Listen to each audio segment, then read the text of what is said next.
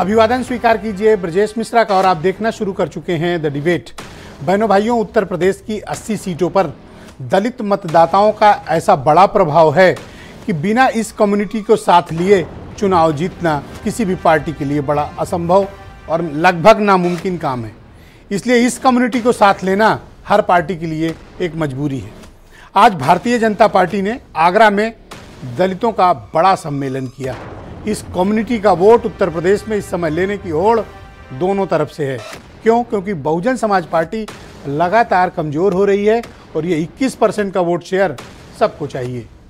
आज इसी राजनीतिक चर्चा को हम आगे बढ़ाएँगे इस डिबेट के ज़रिए। बहनों भाइयों, उत्तर प्रदेश में तकरीबन 21 फ़ीसदी दलित मतदाता है। ये मतदाता इतना बड़ा है, इसका वर्ग इतना बड़ा है और इसके वोट की तादाद इतनी अधिक है कि ये डिसाइड करते हैं कि उत्तर प्रदेश की किस सीट पर कौन सी पार्टी का प्रत्याशी जीतेगा। इनकी क्षमताएँ, इनकी ताकत, इनके वोट बैंक और इनकी कम्युनिटी इतनी स्ट्रांग है कि ये इंश्योर करते हैं कि कौन सी कम्युनिटी जीते।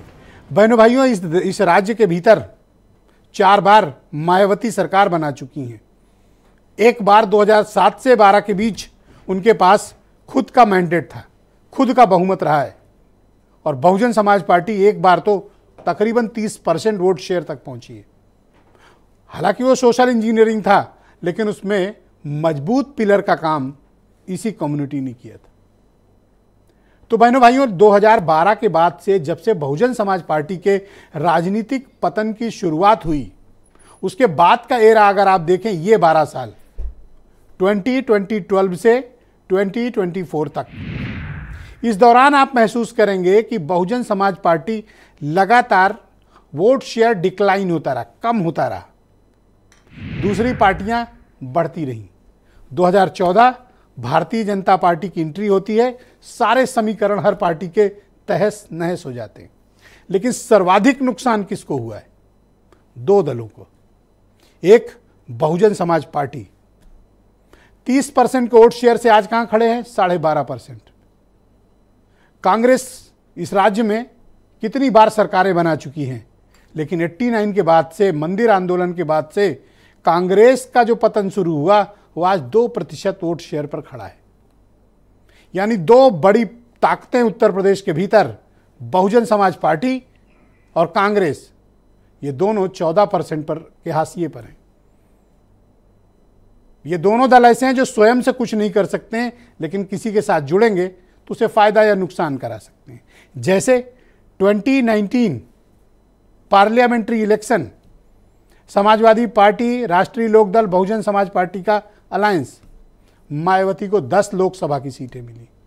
कई बड़े नज़दीकी मुकाबले में उन्होंने हारी, पर 10 member of parliament, Bahujan Samaj party. लेकिन जब आप 22 में आए, ग्राफ घटकर नीचे, साढ़े बारह परसेंट का वोट और महज एक एमएलए वो भी अपने दम पर। आप कल्पना नहीं कर सकता इस देश की राजनीति में कोई। और मैं हमेशा ये बात कहता हूँ कि उत्तर प्रदेश में बहुजन समाज पार्टी के राजनीतिक पतन पर शोध होना चाहिए। 2012 में जलजलेदार हुकूमत इस राज्य के भीतर दलितों ने शासन किया है। और यह मैं कोई सौ साल पहले की कहानी नहीं सुना रहा हूँ, महज एक दशक पहले। रूरल कम्युनिटी बन गई थी उत्तर प्रदेश के भीतर ये दलित समाज।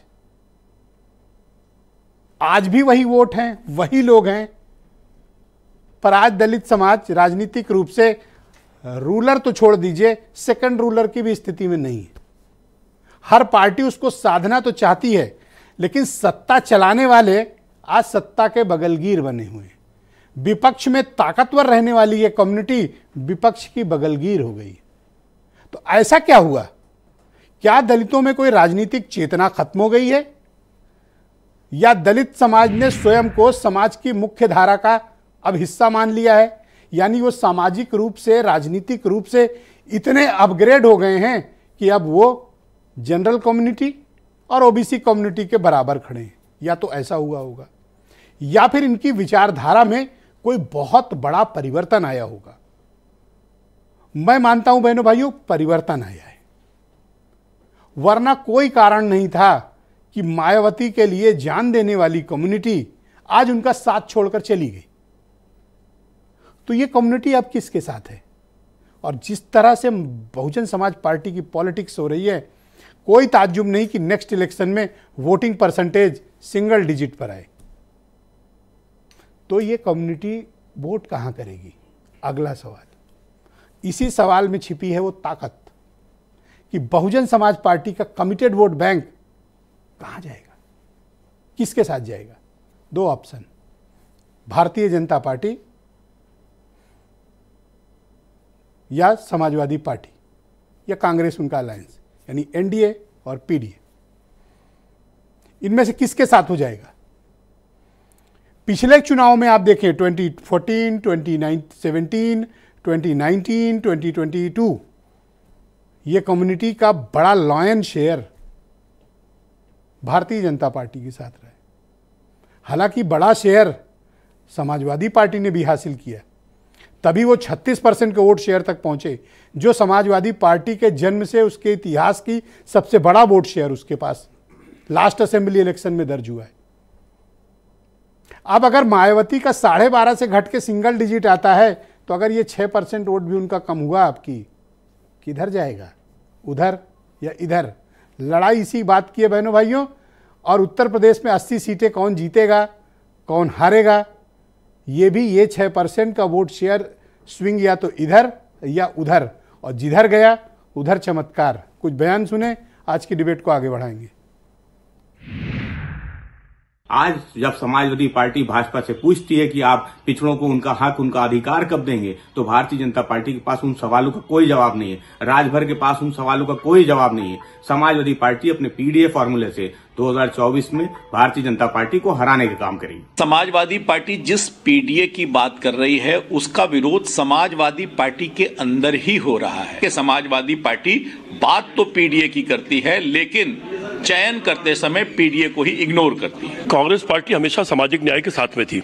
आज़ादी के बाद उसने दलितों को आरक्षण दिया।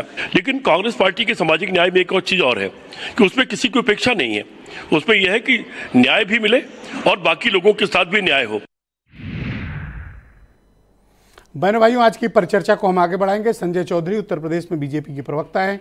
डॉक्टर कालीचरण स्नेही जी मेरे साथ मौजूद हैं। दलित समाज के बहुत ही जाने माने चिंतक हैं और उस मूवमेंट को चलाते हैं।